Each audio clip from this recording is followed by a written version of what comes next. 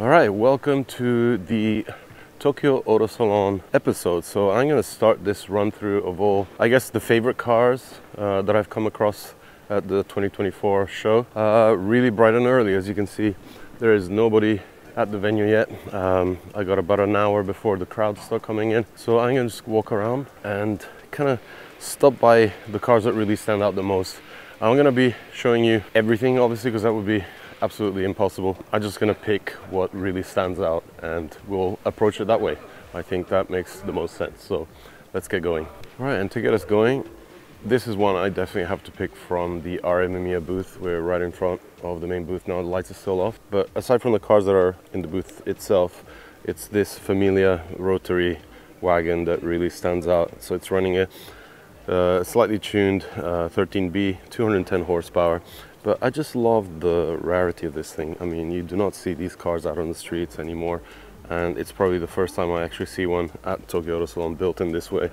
So it's been a bit of a treat to kind of walk around and kind of dive into some of the details. Like a lot of Amemiya builds, it runs on NK wheels, Nardi steering wheel in there. Just very simple, very clean. Uh, typical Amemiya style venting on the bonnet and that very distinct look with that grill and that oil cooler out there. Absolutely sick. That joins a couple of other cars that we've seen before over the years and the four show cars that RE Amemiya have, has put together uh, for 2024.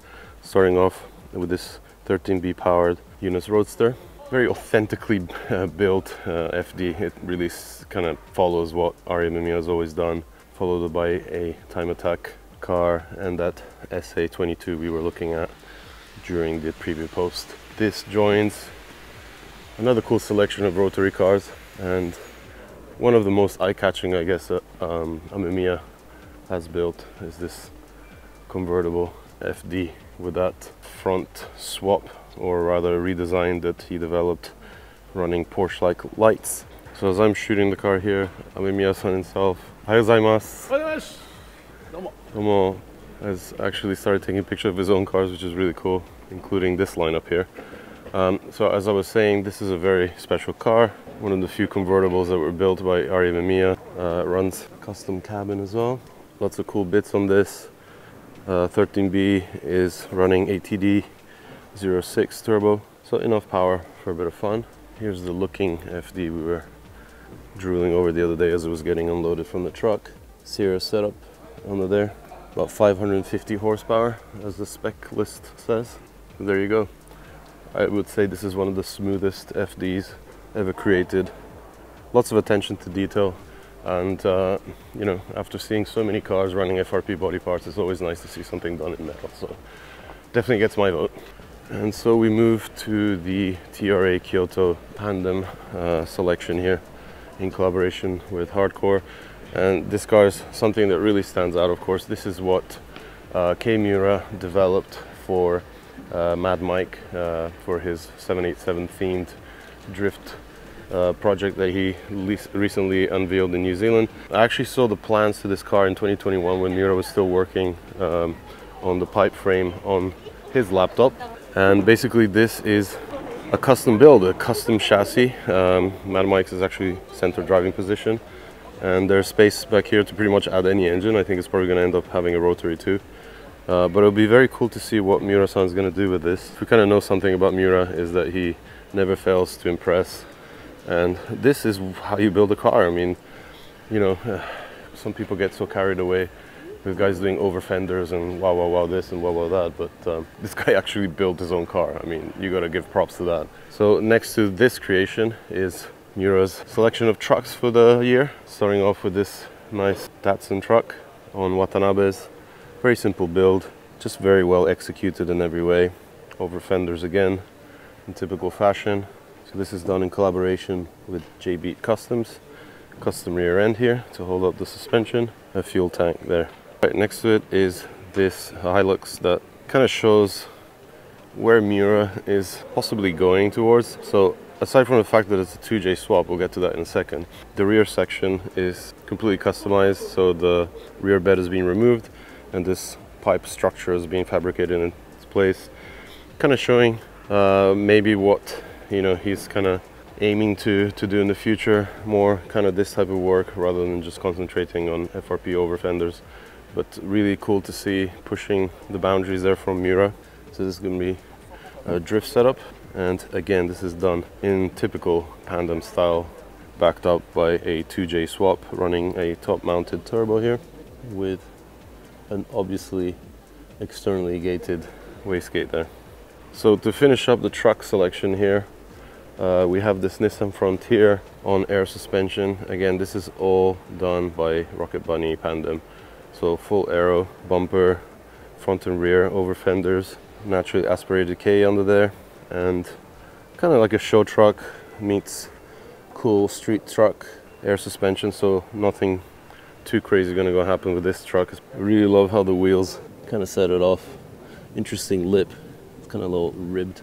But yeah, something different from Miura I think he's definitely made an impact this year. Really stood out with three trucks and a custom car. Absolutely sick from Miura-san. So I thought I had to come back and show you guys the Kenmeri race car uh, homage here that was actually built on a Suzuki Mighty Boy. So kind of explains why the rear end, although it looks like a coupe, is actually an open pickup bed. I just wanted to share that with you guys. Absolutely sick build from the guys at Nats. So we had a bunch of comments about this thing. So this is actually based on a Suzuki Escudo and it's meant to look like an H1 Hummer. So no, it's not a Toyota Mega Cruiser or supposed to look like one.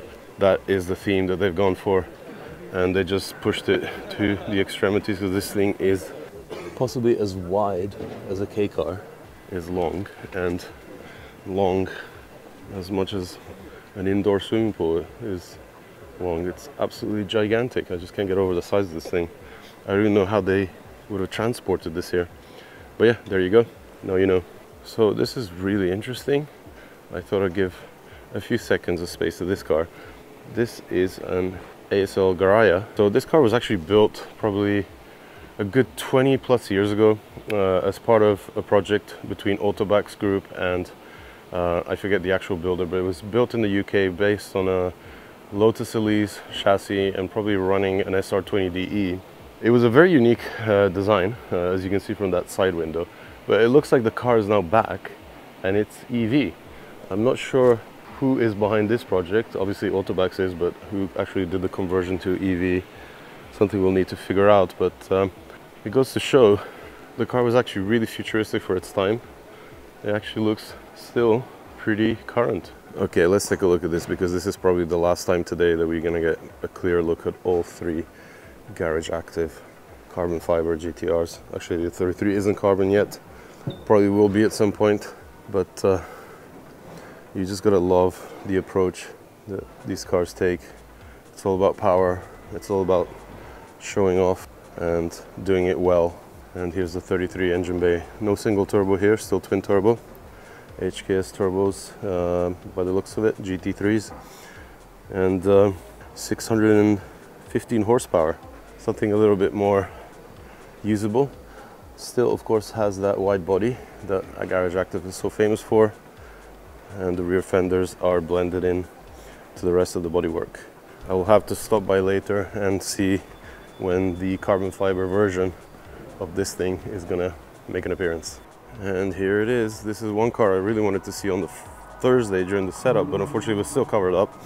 So this is Mad Mike's uh, Mazda Savanna Firsty, as if I'm pronouncing it correctly. This is uh, basically Mad Mike's uh, first fun car. Before he actually got into drifting, he was doing like skids in this car. Ended up selling it to buy his Mad Bull uh, to create that project and get into drifting professionally.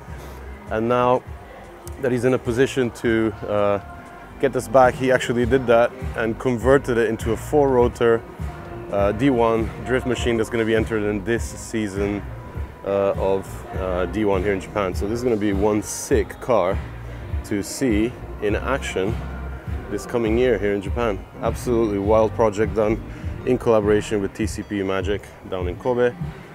And it is a very modern drift machine. Unfortunately, the bonnet is closed, so we can't see the four rotor, but wow, what a beauty. Okay, so uh, there were a lot of comments in the previous episode asking to see more of the GRMN Century SUV. So here it is. It is quite the sight. I spot some gigantic calipers up there, um, carbon fiber, front lip spoiler and side skirts and rear bumper trim, and a nice redesigned grille. Uh, it is quite the imposing thing. It's uh, very aggressive. It really stands out uh, compared to the regular car. There you go. Another look at the GRMN Century. Okay, so I am back at Liberty because finally I can get a look at the Countach and also the AZ1 Mazda based Mini F40 and here it is. Okay, so here we are with the Liberty Walk Countach and first time I take a look at it, it looks like the fenders have been kept in a similar shape that the 25th anniversary uh, Countach was like. Uh, they're four centimeters wider on each side. Hey, what's up, man? Dude, love the car, man. Oh, Absolutely sick. Mad Mike over there. What do you think about this? Only in Kato fashion. Oh, indeed, and live to upset. Really has the impact from the back, as you can see here. With that crazy diffuser setup. The exhaust doesn't joke around either. Custom panel for the uh, rear light grill. And yeah, like I was saying, it's four centimeters wider on each side, and it includes a typical very low skirt there and complete bumper splitter redesign. So pretty much this section forward is all new. Incorporates the lip spoiler, some canards, a new grill, and running Rohana forged wheels. And the best part of this car is that me and Larry are gonna get to shoot it tonight, possibly together with the rewrapped F40 from last year. So um, we're gonna be trying to replicate our epic shoot from last year and do it in style with two cars. So I will probably do a video just about that. So one more thing to look forward to from the crazy Tokyo Auto Salon weekend here in Makuhari. I think these are gonna look so cool together. So while we're here at Liberty Walk, I really have to spend a few seconds with these cars. They always hit so hard.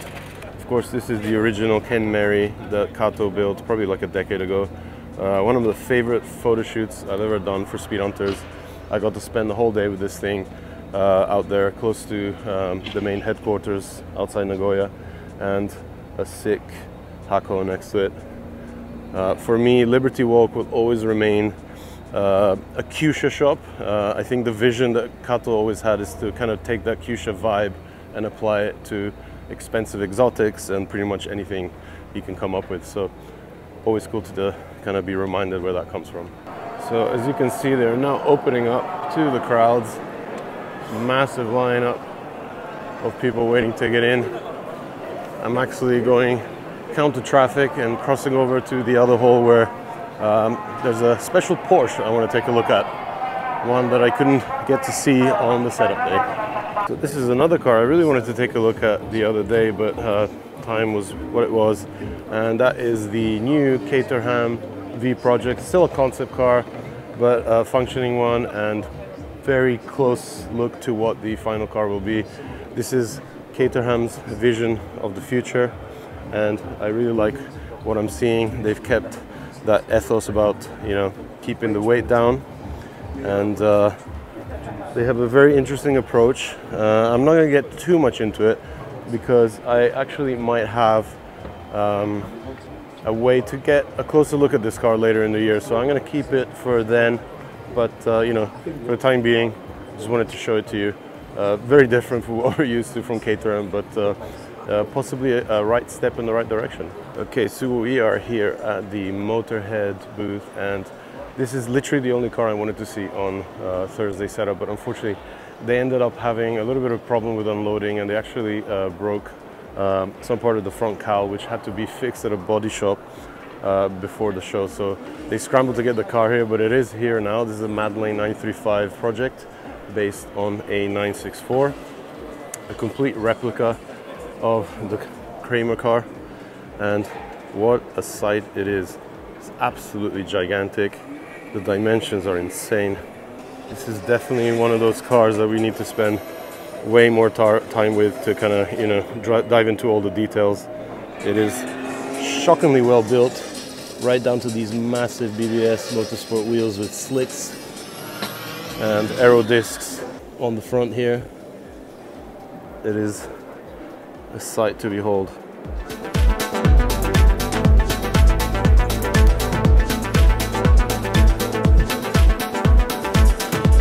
So we are here with the man himself, who's actually going to open the rear cowl for us, so we can take a look at the insane engine, which has a really interesting uh, fan shroud um, setup. He's even got a custom-made prop for it. Wow. Look at that. Turbos mounted, hanging off uh, the engine block, and there's a fan setup, so it's uh, in the middle, like the flat 12s. What an amazing sight. And look where the intercoolers are placed over there. So they're pretty much where the rear seats used to be. Take a look at the cabin with that dry sump oil tank on the passenger side. See how the cage is actually spoiling off like a transmission tunnel as well with the brake bias adjusters. Absolutely insane. They're all getting a group picture with Max Orido. This is the team that created this incredible vision of a 934 passenger side. Literally looks like a brand new Porsche, like something modern, like a 992. Even the door trim is on point. Even though it's an FRP door, he's actually gone and done some kilted paneling there. Probably the last time we can get this profile shot before the crowds start rolling in. Can see the heads under there and the support for the external wastegates. So these are actually legit KKK turbos from the era, as are these Porsche wastegates. So absolutely legit stuff happening here. You can see all the venting here for the intercooler setup. Hopefully it's in a position to get enough fresh air. So there you have it. Without a doubt, the best car of the Tokyo Auto Salon 2024. Madlane 935. Absolutely insane.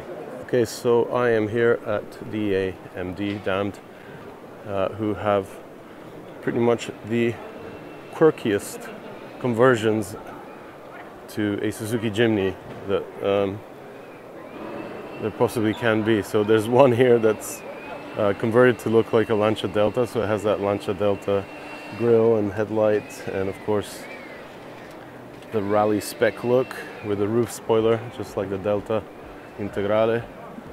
OZ racing wheels. And then over here, a Renault 5 Turbo.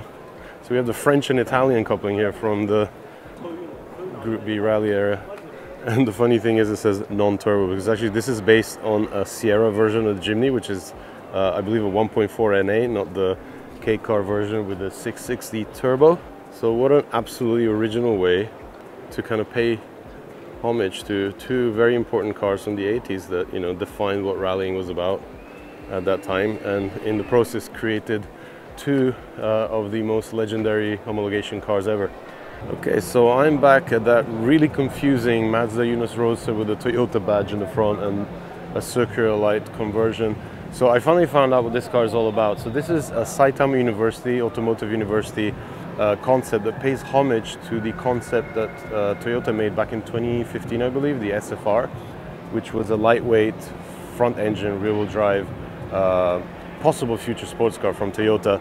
That never really saw the light of day, so these guys actually paid homage to it and took uh, Mazda uh, Roadster and did their own conversion to kind of recreate those lines and that design that made that car so, I guess, you know, very interesting to enthusiasts. They've topped it up with custom-made tail lights and headlights and that gaping mouth at the front.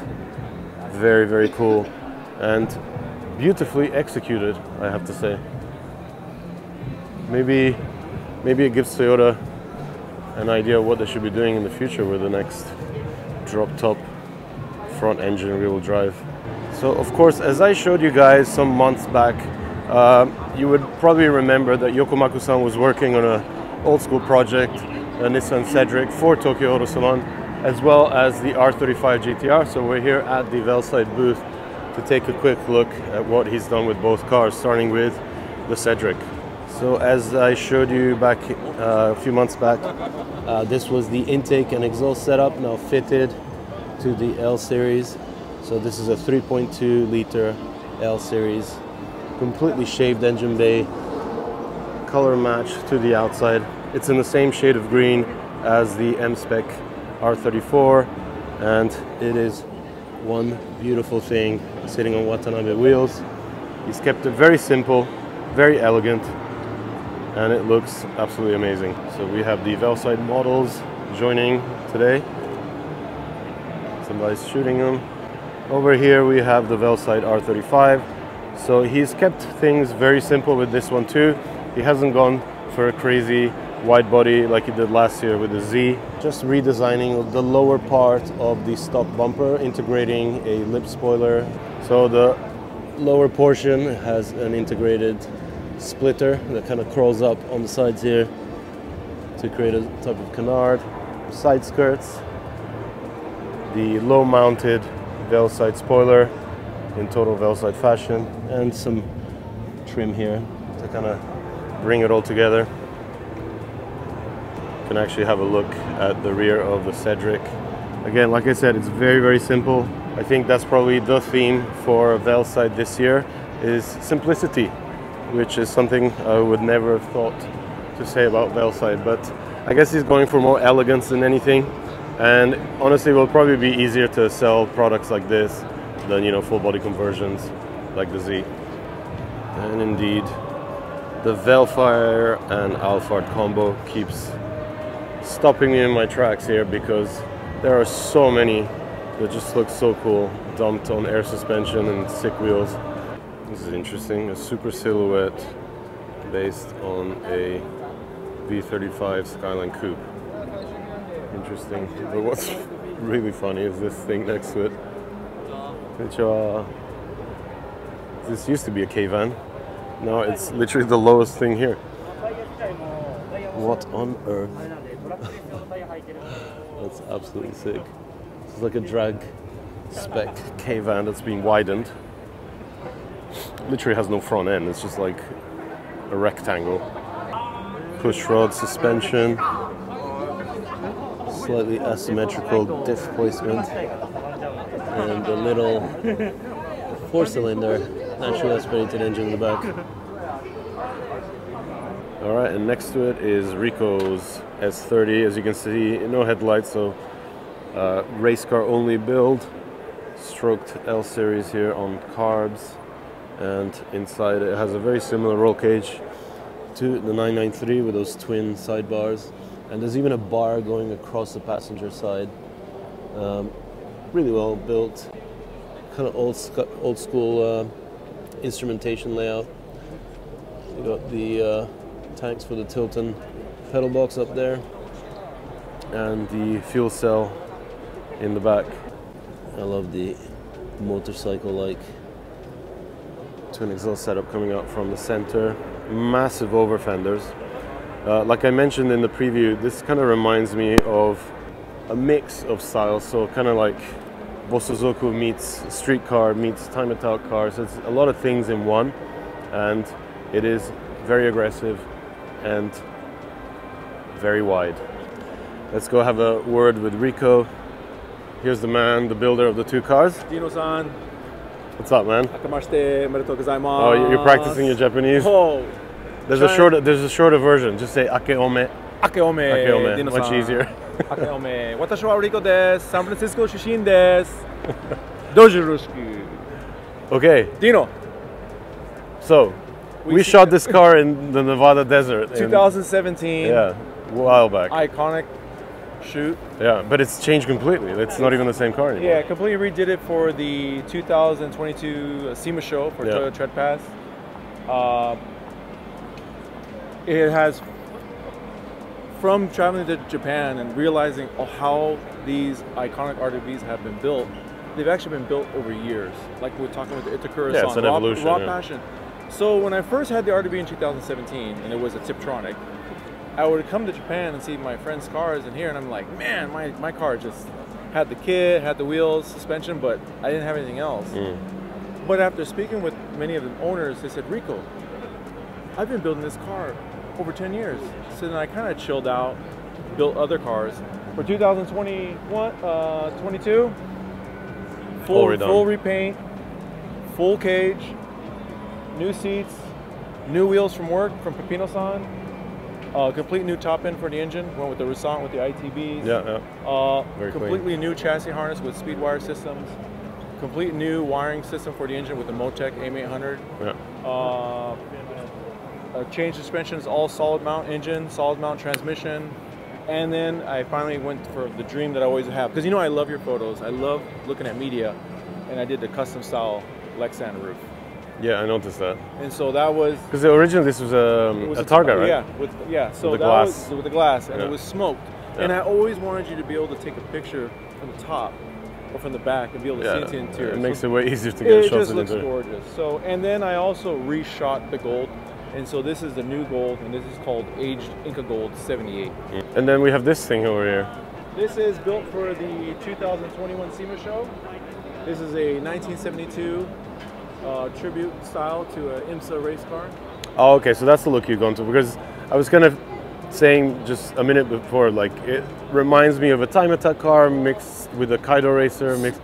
so many right. styles, right? So, so during that, right, like Yankee, right? Yeah, From the, exactly. uh, from uh, Shakotan Boogie, Shakotan right? Boogie, Live that to was the, ori- kind that was the thing. original Yeah. inspiration. So I said, what can I do to give my own spin on that style? So the Z the IMSA style kit is the rear fender, rear hatch, rear tail, the doors, the cowl, the fenders, the complete Geno's conversion, and the hood, which I have underneath right now. Mm-hmm. And I went with the headlight delete. Yeah. That's what I did to the outside. But remember, the Rico style is that I love the history.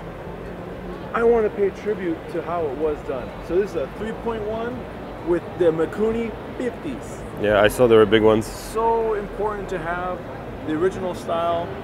Mikuni 50s with my style, with the shade bay, with the custom Teins. These are the ones you have to order.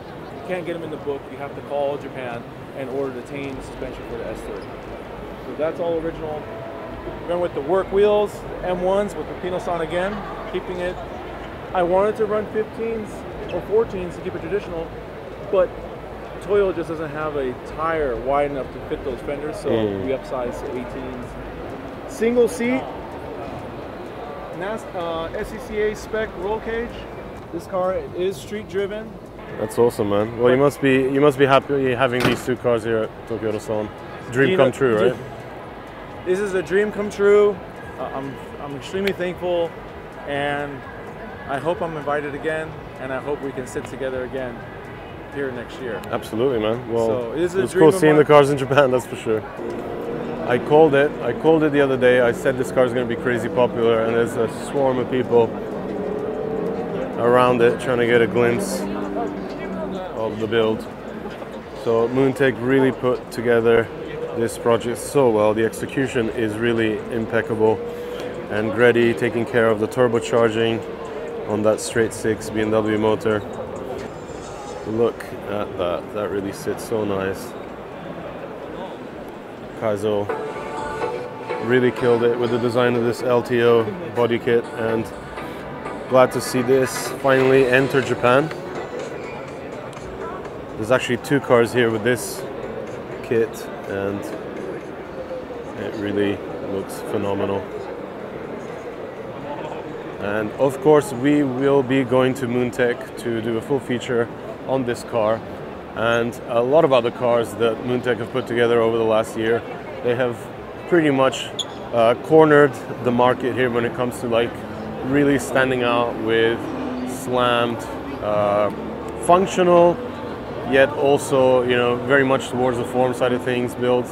Um, inside out, engine bay, everything's on point. So we're definitely going to go uh, to their shop in Gunma and put a bunch of cars together and do some shoots because it really deserves to be documented on the channel. So uh, look out for that. All right, I've just gone GTR hunting now. Wanted to get a slightly better lit view of the top secret R34 GTR that is actually being built for a customer in Texas. So this car is going to be making its way into the States and it's going to join an interesting collection of cars over there that we might be able to take a closer look at uh, later in the year when we go back to Anime Matsuri. I apologize for the noise. Nissan is blaring out some insanely loud speaker stuff here. So uh, I just want to head to Bridgestone now because there's another GTR I want to take a closer look at. And here it is, the Mine's V-Spec N1 based demo car that we saw at R's Meeting. And this is a car that's uh, slightly been redone. Uh, it's got a full suede-like interior and some fresh new graphics. I do like that touch on the roof here. Didn't spot that before. And it's definitely attracting a lot of attention, proving that these older cars will forever remain popular. And rightly so, because these pretty much started, you know, the whole craze for JDM cars and really cool to see the, you know, brands like Bridgestone are still embracing these older chassis. But uh, let's keep moving and see what else we can find.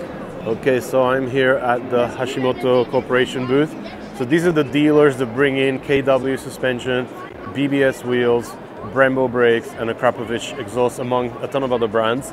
Uh, but they have one car in particular this year that I just I keep walking past and I keep stopping to look at it. It's this purple M3 wagon sitting on BBS rims and KW suspension. It's pretty slammed as you can see. I don't know, I just have a thing for powerful wagons. I'm a big lover of Japanese vans like the Vellfire, but you know you cannot beat actually having a wagon with a performance engine and four-wheel drive like the M3 competition. So I thought I'd show you this beauty because it really stands out in this purple. So uh, the fitment on this is basically staggered, 20 inch up front, 21s at the back. Dream family car right here. And BBS uh, these are not the BBS that you are used to seeing in Japan. This is actually the BBS that are built in Germany, two different companies. Uh, these are flow formed. Uh, the ones in Japan are forged. These have very different designs. Uh, there's a bunch of customization features that you can apply so you can kind of customize the look of the wheels. And the cool thing is they even have spinning center caps. So actually, if you look at on the wheel here, you can see how it just spins around, which means that when you drive, the BBS logo is always straight and is literally a godsend for photographers. We never have to feel like we need to adjust wheel placement.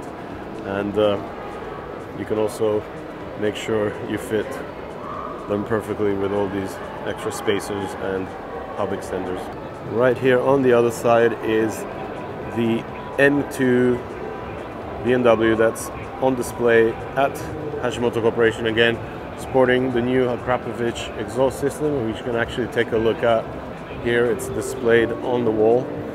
So it's a full titanium system, starting up front with their link pipe set, which adds another 13.4 kilowatts of power, with the rear slip-on line titanium and pipe set, which adds another 4 kilowatts of power. So a decent upgrade uh, of performance, both power and torque, but also the drop of weight, which is pretty considerable on uh, you know modern day exhaust systems. And this thing really looks sick. There's even an additional wing. I had no idea Krapovic actually made wings. Pretty cool to see. It's sitting on the BBS wheels that we saw on the M3 wagon. These are in black. And again, this is another car I really wish I could drive. I want to test out this new M2 chassis. I'm kind of keen on the looks, uh, the dimensions is much more compact than an M4, and of course the performance that comes from it. So uh, hopefully we can uh, borrow this car, uh, you know, during the course of the next few months and take it out for a spin. Here's that Fronte Coupe GX at the Endless booth.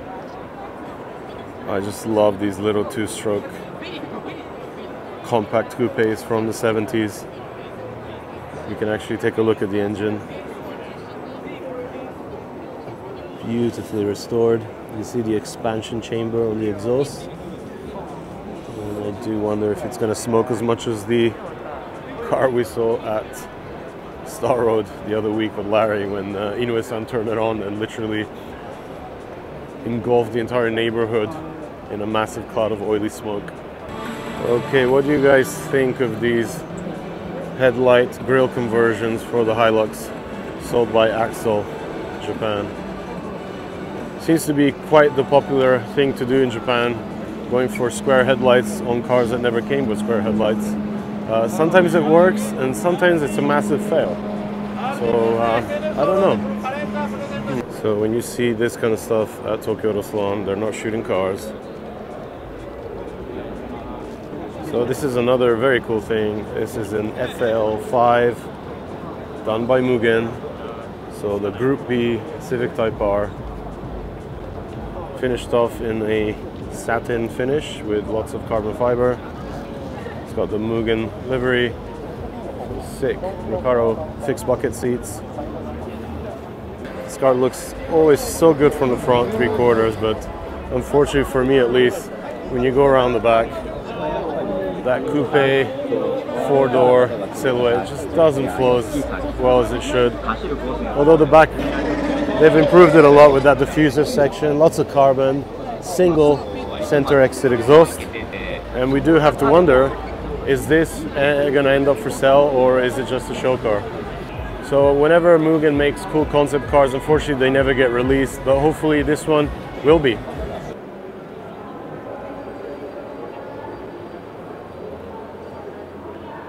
This is why I love coming on Sundays. this is insane. Look at this.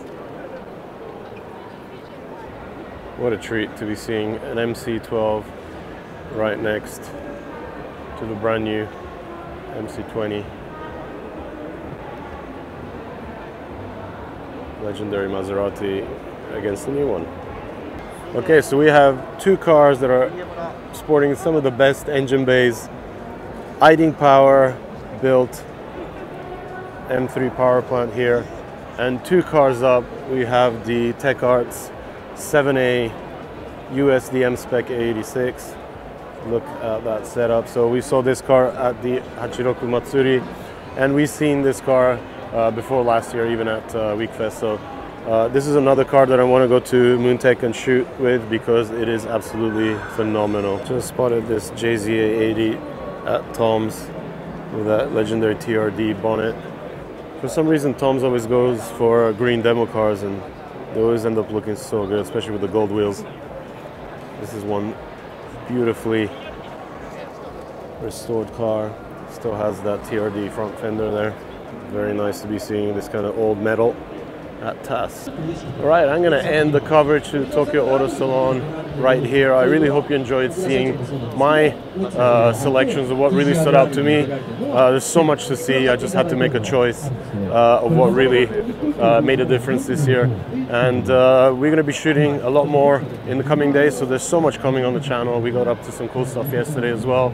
And we'll be going uh, for a very special shoot tonight. Liberty Walk Countach and Liberty Walk F40 is going to be epic, and more stuff coming in a few days as well. So uh, lots to uh, come back for. So make sure you do that. Check back soon for more.